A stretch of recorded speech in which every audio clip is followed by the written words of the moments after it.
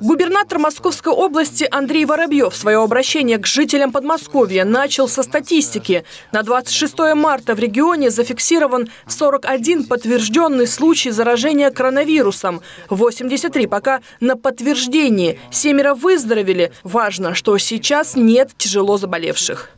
За это время мы с мэром выпустили а, порядка 10 постановлений.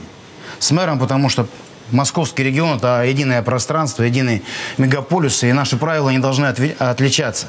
Поэтому мы действуем слаженно, вместе, для того, чтобы не было здесь, э, э, чтобы не уходить в разнобой.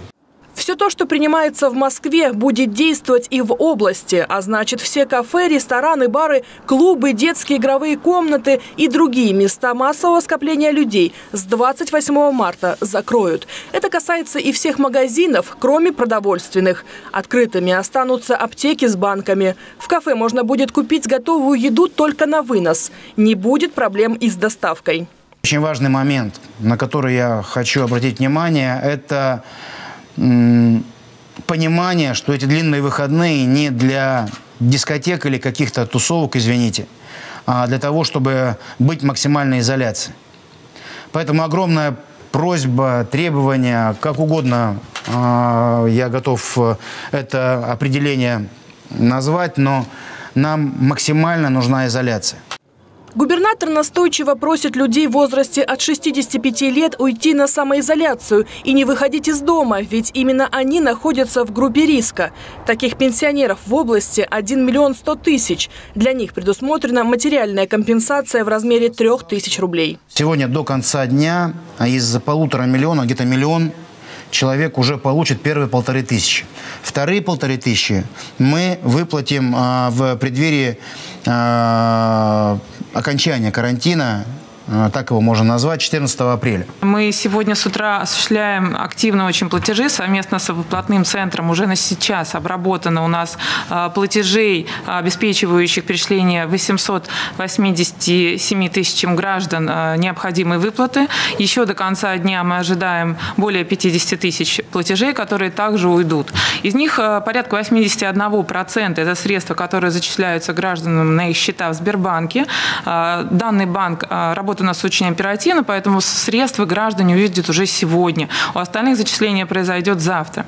Работающие пенсионеры смогут получить больничный. Для этого надо обратиться по телефону горячей линии, где вам его оформят и пришлют по электронной почте. Если возможности получить электронный больничный нет, то его привезет курьер.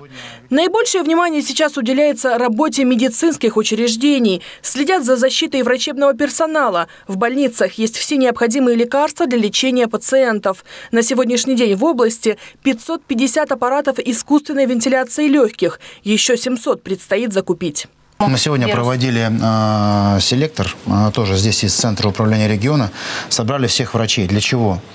Для того, чтобы, во-первых, убедиться, что все наши инфекционные отделения, их 50, они готовы. Мы делаем дополнительные в Звенигороде, в Подольске, в Егорьевске, в Талдоме. Это новые. В Солнечногорске, это отдельно стоящие здания. Мы их оперативно э, ремонтируем для того, чтобы оборудовать палаты. Также Андрей Воробьев отметил, что управляющие компании должны максимально ответственно отнестись к дезинфекции подъездов.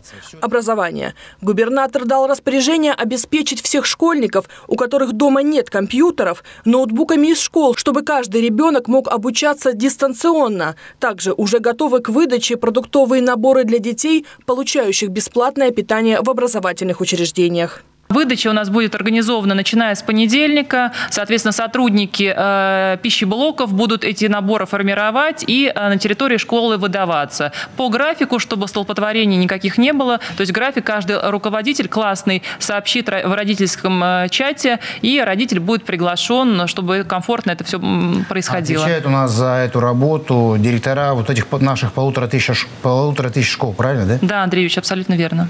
Андрей Воробьев призвал население консолидироваться, чтобы преодолеть трудности. Он поблагодарил всех, кто помогает в решении проблем – врачей, учителей, волонтеров и тех, кто осознанно ушел на самоизоляцию.